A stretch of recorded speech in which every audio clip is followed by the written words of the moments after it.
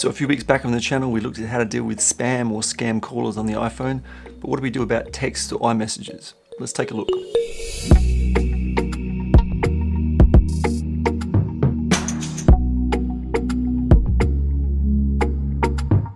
Hi guys, I'm Simon, this is Tech My Life video, and as I do every week on the channel, this is a Tuesday tech tip.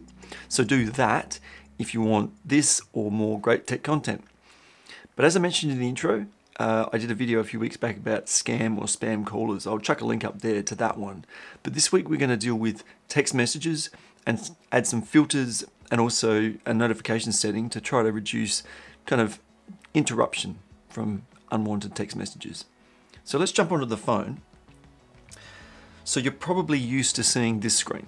So basically it's your message screen. I've blurred a few things out because I don't want you reading my messages, but pin conversations at the top and your other messages underneath. Let's jump over to settings.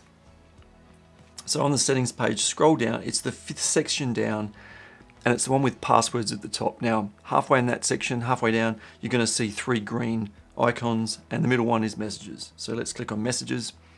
On the messages page, start by scrolling all the way to the bottom. Now, three sections up, it's message filtering and filter unknown senders. So we're gonna toggle that one on. Now let's just jump back across to messages. Now, in the top left corner, you'll see it says filters. So click on that, and it'll take you back and it's a bit more maybe like email. So now we've got all messages, known senders, and unknown senders. So unknown senders is going to be a bunch of phone numbers with a bunch of random messages. So that's kind of taken care of that. Now you can go into your known senders and it's not going to have all those kind of other messages. But let's jump back across to settings and we're going to scroll back to the top of settings. You can either do that manually by scrolling or just tap just under messages at the top and it'll automatically jump up to the top. Then we're going to click on notifications just at the top there. And again, scroll down to the bottom and this time customize notifications. And the second one down is allow notifications unknown senders and we'll toggle that one off.